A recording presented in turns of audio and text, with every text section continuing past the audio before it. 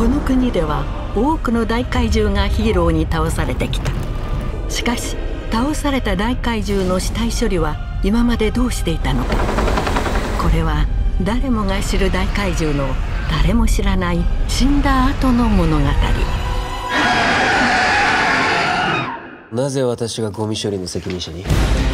特務隊に全ての責任を負わせるつもりです。爆発までどれくらい持ちそう米軍も怪獣の死体処理を打診してきています。怪獣の死体は可燃ゴミってわけか。生ゴミかと。燃えないゴミなんじゃないの？決壊させて海まで流すのか。誰が後始末すんのかな？俺では間に合わない。前代未聞の緊急事態。人類存亡をかけた後始末が今始まる